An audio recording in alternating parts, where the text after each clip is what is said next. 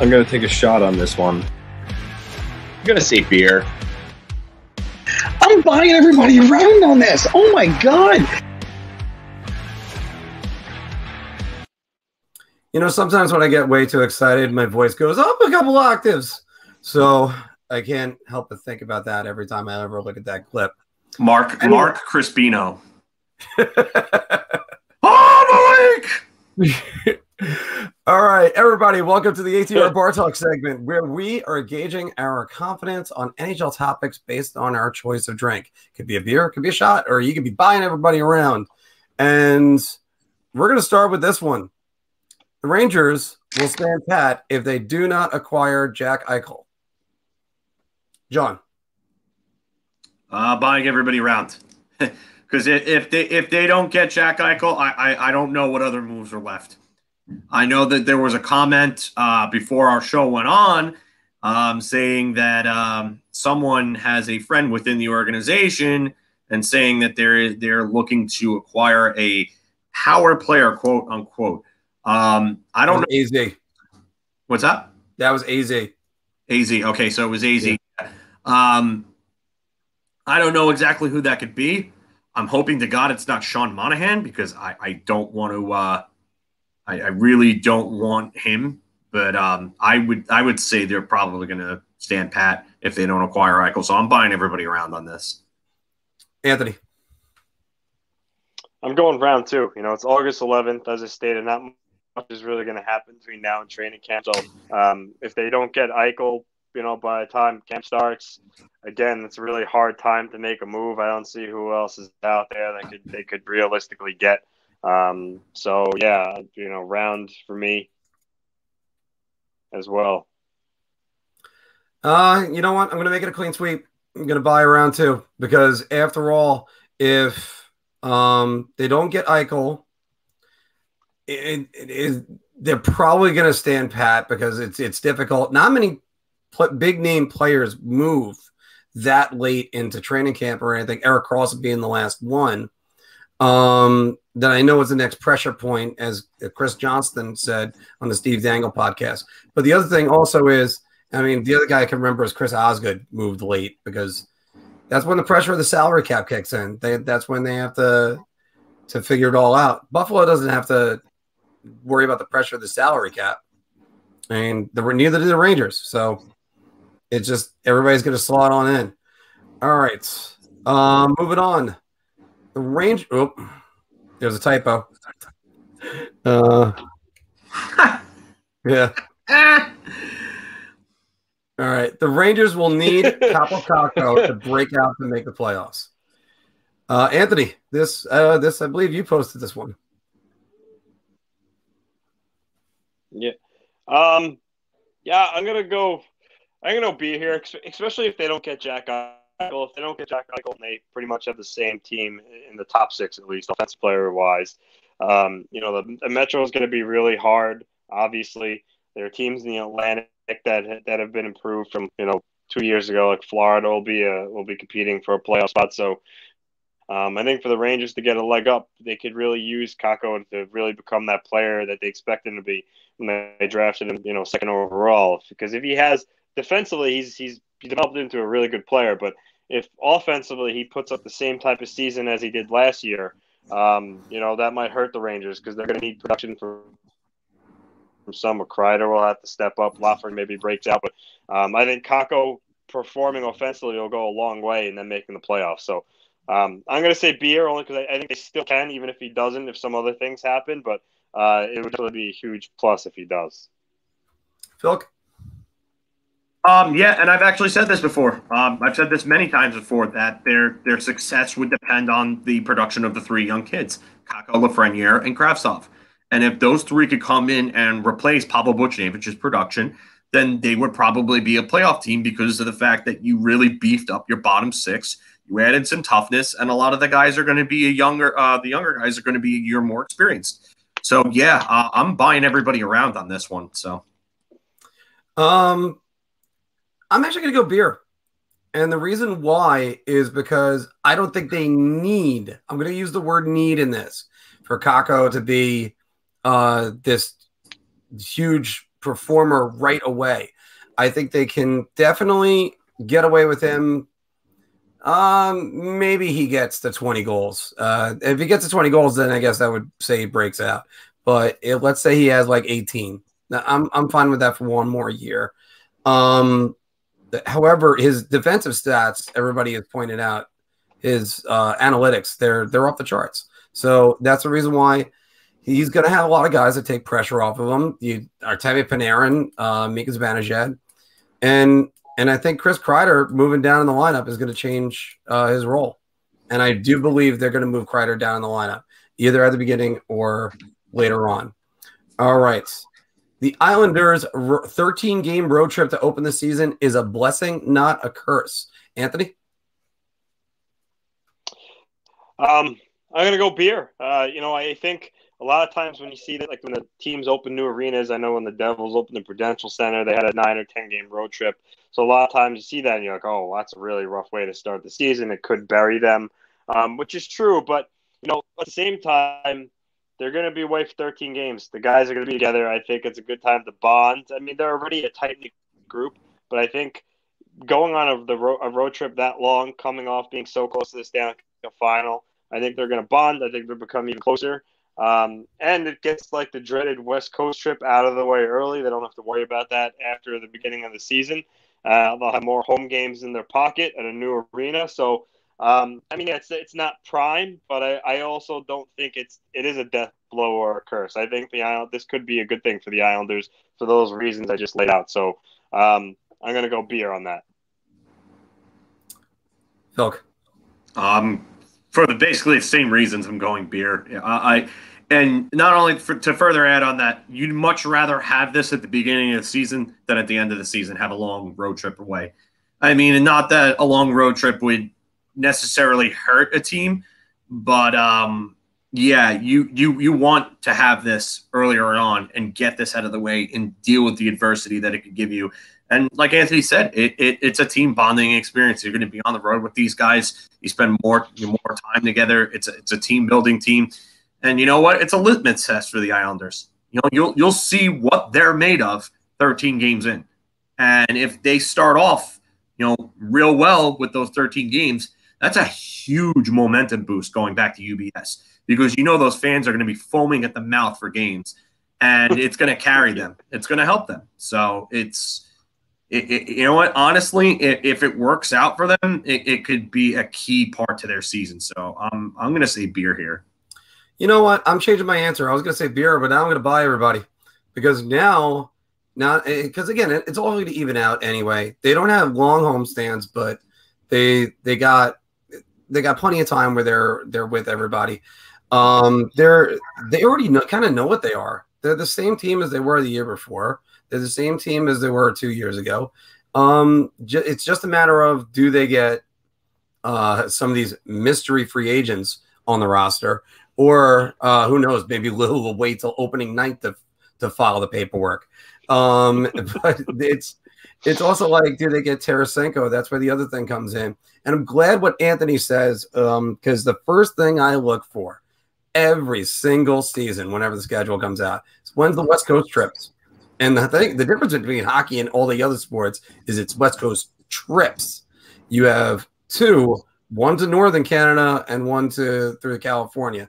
And now uh, Seattle's in the mix. So there's another thing because after all, every single sport, whenever they talk about it, the longest trip anybody has to go is uh, Seattle to uh, Miami. So you you definitely don't even want to be on that flight. Um, moving on to the next one, and I'm going to start this one off. Lou Lamoriello, Lou Lamoriello's delaying. Uh, Another typo in there too. There's a typo. You yeah. son of a bitch. That's. Uh, the, funny, the, funny, part is, you son of a bitch is really me, and I still have to put up our blooper reel. Uh, yeah, Lou Lamoriello's delayed. Oh, is a SAP circumvention. Okay. Yeah. Oops. SAP, as in uh, Alice in Chains album. Mm. Wait, this they had an Alice in Chains album. SAP was it one of yes. the new ones? Okay, so that's why I haven't. That got me wrong on it. Oh, okay. All right. Yeah, I, always had that from the Clerks soundtrack. Anyway, Lou Lamoriello's delayed filing of contracts is a cap circumvention. I'm going to start this one off. It's it's gamesmanship, but you know what? I got to buy everybody around. You, this at sooner or later you're going to have to do. You're going to have to stop them from doing this or make a time limit on there because it's just you, you can't be having this go on forever. I think it's definitely to make sure he's got cap space to re-sign guys, and then he fits in the agreements on what what he's going to get for the other guys. So Anthony, that's your boy. Um, I got. I, I mean, obviously, it's what he's doing. It's not against the CBA um, yet, but I mean, it kind of, I mean, it kind of is. I, I'm, I'm inclined to go around on this because, you know, let's face it, the guy, the guy has contracts agreed upon, and he just chooses not to file them. I mean, I, I know, again, I just said it's not, it's not illegal according to CBA, but I mean, what he's doing, it, it's genius, but it kind of, I'm not going to be a homer, it kind of is circumventing the cap. Um, I don't know how many GMs can get away with this aside from him. You know, I don't know if in the in the future they put you know try to nip this in the bud, but um, what he's doing it works because like uh, Pagnotta told me, it's it's it's when he talks to other whatever move he's got conjuring up, whether it's a trade for a D man or or Tarasenko, the other team, let's say if he's trying to get St. Louis to to retain salary, they don't know exactly how much the Islanders really need them to do it because they don't know how much cap space he has committed to these guys yet.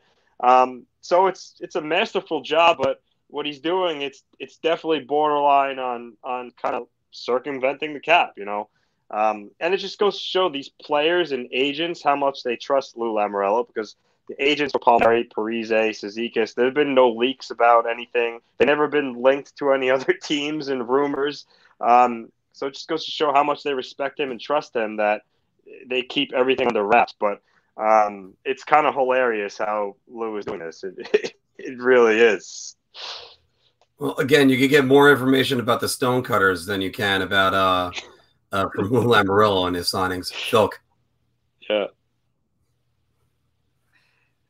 I'm with Anthony on this one again. I'm going to have to buy around. Uh, it just, it, while he's technically, it, it's illegal in a sense, and it's not because, I mean, he technically hasn't reported anything. I mean, they can come to handshake agreements and not report anything. If you remember, Glen Sather had a handshake agreement with, I believe it was uh, Len Barrie, to trade Steven Stamkos to the Rangers, and it was never filed with Central Registry. So the trade never went through, and Oren Koules nixed the trade for Steven Stamkos. So I mean, technically, it's a it's it's the same principle. Um, I, I do think, however, when the next CBA comes around, I think that might be something that might be addressed at that point. So um, I'm yeah. buying everybody around right now. And, and there's going to be a lot of things they're going to talk about in, in the new CBA. And I wouldn't be surprised if this situation comes up. The Minnesota Wild should trade Kirill Kaprizov's rights. I'll start this one. Um, shot. Uh, the reason why you, you can't, you can't. If if you do it, you're buckling. You're giving up on a great young talent that this team that desperately needs. Um, it's there's certain situations people talk about. Usually, the NCAA players waiting out their uh, their rights to go be free agents and sign with anybody. Um, the Russian players too, staying in the KHL and then waiting out their rights. He, he's coming off his rookie season. He's already trying to get an eight million dollar deal. That's insane. Like entry level deal, you get three years. That, that's it. Um, but I also, if Minnesota trades him, they are so far back. They they might as well be tanking for Shane Wright. So, Phil, what do you think?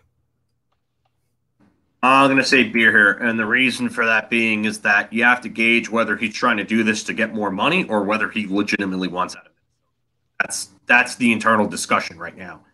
Um, you obviously want this guy around. Um, I, I, I don't see a 70. I, I know he was on pace for about 40 goals and 70 points as a rookie, but I I don't think that that's his ceiling. I I think he could be an 80 to 90 point player, and he's the type that's not going to need much help around him to do so. Uh, I mean, this is a real game breaker right here. I mean, look at what he did with Matt Zuccarello and Victor Rask. The, those line mates, and no disrespect to either one of them. You know, I love Zuccarello, great playmaker, very good player, solid, solid in both his own zone and the offensive zone. Um, but Victor Rask is the worst player on that line by a landslide. And he's the sh- a shade of what he was in, in Carolina. Yeah, I, I, he's not even that good of a player. I mean, he's he's really a second liner at best on most teams that have cup aspirations. So, um, if if this is a a, a money if it's a if it's a power move, then no, you're not trading his rights at that point. Just give him the damn money because uh, he's going to be your franchise player. Uh, if if he legitimately wants to go back home, then trade his rights. Trade his rights. So I'm saying beer. Anthony. So I'm gonna I'm gonna surprise you guys here, and uh, I'm gonna go I'm gonna go round, but it's under the caveat if he's really gonna go back to the KHL. There's the reported I sent you guys the other day from Sierra Valley that he apparently uh, starting September 1st, he's got a deal, a one year deal with CSKA Moscow for like eight or 10 million. If, if he's going to really play there, um, yeah, sure. The Wild could be sticklers and say, okay, well, listen, it's either play for us or you're not playing the National Hockey League until you're you come back in free agent in three years and you can sign where you want to sign. You kind of split your nose to, off from your face that way. But why do that? I mean, why just let him go play in the KHL for three years? Trade him now, at least get something for him. You get you would get a boatload for him right now if you would trade him. Despite him wanting eight to nine million, teams would line up to get him, and you would get you'd get a lot of assets back, picks, prospects, probably even pretty good young player. Um, again, that's all he's really going to just take his ball and go to Russia. Trade him. Because let's face it, he the all recounts is it's not the money is the issue. It's the it's the term. He he'll he'll the Wild have no problem giving him the eight nine million. It's he wants a two to three year deal so could he could walk right to unrestricted free agency. The Wild want to give him a a six, seven, eight year deal, and he wants no part of that. He wants to be able to pull a Panarin and basically choose where he, he can play in three years from now. Uh, it's not that the money is the issue; it's the term. And the Wild are going to have to buckle and give him and at least give him a four year deal. They're going to have to because if they stay firm on a six, seven, eight year deal, he'll he'll call their bluff and he'll go play in KHL this year. So, um, and if that's going to happen, then yeah, trade rights because yeah, sure, you could say screw you, fine, you're not playing the NHL until you're unrestricted free agent. But then you're losing him for nothing, and then he comes back in three year, two to three years anyway, and he signs where he wants to play. So uh, that that's my take on it. But um, overall, just just give him compromise. Give him a four year deal. If that's the case, though, the and and Granny, yes, you were you were talking about this before. How him not being able to speak the language, not knowing anybody during the lockdown. Again, the lockdown was definitely the worst uh, situation for him to for uh, a kid to just come over from another country and try to like learn the language, uh, try to try to grow as a player, try to get acclimated. He could very easily come over right now. I think also um, the idea that he's going to get more money than uh, uh, uh, Kovalchuk got, that a lot of and and I think any player in the KHL has ever gotten is is ridiculous. And the other thing is, there's some reports in Moscow saying, or from Russian newspapers or Russian hockey sites saying that they don't have a trade and that you basically wouldn't be able to field the team because the ripples uh, wouldn't match up. So it's it, it's I just no I, I and also it, then you have to worry about the KHL trying to poach players. KHL doesn't want to do that. Well, they do, they do want to do that, but then they're still like the NHL definitely won't let that happen. So, all right, we're gonna move on from Kirill Kaprizov to uh, another guy. Oh man, Carter Hart will rebound so much that he'll make Team Canada. Anthony, I'm going with you to start this. Um, I'm I'm going shot. Um, you know, this is a guy that was touted as the next coming of Carey Price, and you know, uh, top goaltender in the league, be the future guy in goal for Team Canada. Um, but last year he was he was terrible. I would say by far out of the out of the 31 teams who had starting goalies, he was statistically he was might have been the 31st. He was really bad. Um, you know, I mean, listen, the Flyers were tire fire at times, so cut him a little bit of slack, and he he still is young. So while I think he will be a lot better this coming season, I just think it is it's too short of a time to turn it around to trust him with a spot on Team Canada. Um, you know, I, I, don't I don't see it happening unless they're unless they're really desperate in goal. Um,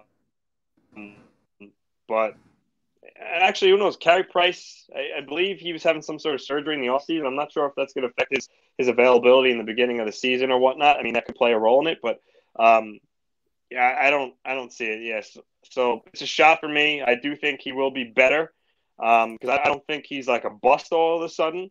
Um, but I don't know if he's going to be able to have that, that outstanding of a beginning of the year that they're going to make him place him on Team Canada as one of the three goalies. Phil. Really? Really? Really? Really? really? I'm I'm pretty sure Sean probably gets my Miz reference there with the reallys, but um, yeah, yeah. this is I, which one of you made this question? Uh, Anthony. wow, Anth. I didn't word wow. it like that. Yeah, he changed, wow. He changed but, the wording of it a little bit, but I, I, changed the wording to make it a little bit shorter so it would be bigger. Yeah. yeah. Um. No. All all jokes aside, Team Canada does not have great goaltending right now. That's right. And, and that's that's the only reason why this is even remotely possible is because their goaltending really isn't great. Who was it? Fleury Is Fleury just won the Vezina? He's Canadian, but he's 37. Do you really think they're going to take a a 37 year old into uh, into into the Olympics as their starter? I mean, who else is really for them? Carey Price. I don't know if I trust Carey Price after the the finals that he had and the regular season that he had. He had three great playoff rounds against two teams that were one was a choker and two was without their top center. So um, I, I I don't know if I trust Carey Price, um, but I am I'm gonna say I'm gonna say beer here because like I said, it's the lack of goaltending depth in Toronto, or I mean in Toronto, in Canada. Uh, yeah, I don't uh, think that uh, I don't think it's possible, but there is an outside shot of it. He did say beer, Anthony. Well, we lost you for a minute. And here's the funny part beer. And it's not even that I think Carter Hart's going to rebound because unfortunately, Carter Hart plays in the goalie graveyard of Philadelphia. Um, there, they had Bernie Parent, Ron Hextall, and everybody since Ron Hextall was traded the first time. Um, has just never really uh, measured up. And they even had some good goalies because usually they're good for one season and then they're gone. I, I, and again, I like Carter Hart. I had him in fantasy two years ago. Uh, but these are your choices. You were going over those, John. Carey, uh, Carey Price, Marc Andre Fleury, and I think the third string probably could be Mackenzie Blackwood or Jordan Binnington. Ooh. Probably Jordan Binnington, And I, I Jordan Binnington has not been impressive since his little run from January of 2019 to June of 2019. So I know. I mean, take away his rookie year, you, you don't exactly have much. Yeah. And um, I mean, I think Carter Hart is going to rebound a little bit, but I'm not sure if he's going to rebound enough to make Team Canada. But then again, I don't know if Team Canada is going to have enough to have goaltending. This is this is actually why this is a good question, Anthony, because I don't even know what Team Canada is going to have. I mean, we know USA is going to have good goaltending. We know Russia is going to have good goaltending. Um, who's going to be the Swedish goalie now that Lundqvist isn't there anymore? Robin Lehner. Who was it? Robin Lehner. Okay. All right. So that's at least a good goalie. I mean, there's there's I mean, there's plenty of the other ones that you're just going, all right, well, what are we gonna get on that? I don't know. We're gonna say, oh, so yeah, this I think I said beer for me. So what's um, And we heard you, but you were uh, choppy. Philip Grubauer nationality. German, isn't he? Philip I- Grubauer, his nationality. I, I think he's German. Yeah. By the way, um, he is. we're- you know what? Yeah, he's German. Anybody else think it's crazy just to think about that? Um, three, two of the three Vezina Trophy finalists are dealt away this this offseason. That's that's nuts to me. It's absolutely nuts. Um. Okay. Well. Okay. Anthony's fixing his camera. So, what do you guys think? Uh, should Kirill Kapri- Kaprizov get traded? Is Kaapo Kakko the key to the Rangers making the playoffs next year? Uh, the Islanders, 13 games on the road, blessing or a curse. And Carter Hart, he's going to rebound or just give up rebounds like he was doing last year. Put it all You right missed down in the uh, you missed one topic. You cut it out. Oh, wait, what was it? On. Uh, Seattle will make the playoffs this season. Oh, I didn't cut it out. I just didn't see it on there. Oh, you have it. T- you added it today. All right. Seattle will make the playoffs this season. Let me um I'm gonna type it in, but as I'm typing it in, I'll say uh no, they're not. So uh shot from me. Uh, with that roster, no way. Their defense is okay, but their, fo- their forward group is just awful. It's awful. Uh, I mean, I know you have guys like Mason Appleton, you know, who can, you know, be better, but uh, I, I, I, I don't see where they get their production from. Yanni Gourde's your top center. Who's out for I think two months. Because he's getting surgery. I don't know. I I think I'm I go beer on that. I mean, they're they're unequivocally better than Anaheim. They're better. They're better than San Jose. Um, then you have you have LA. I mean, LA. You added Danault and uh, and Arvidsson. They they probably won't be better than LA, but um, but then again, that division. If you look at it, obviously Vegas is a lock, and then you have Edmonton likely a lock. That third that third split that third playoff spot would come down to Calgary, Vancouver, LA, Seattle. I mean, are any of those teams far and away better? I mean, Calgary. I don't think Calgary's defense is is really that good with Giordano. I mean, you have Noah Hanifin, um, you know Rasmus Andersson, what, Nikita Zadorov. I mean, No, that Albert defense is garbage. I mean,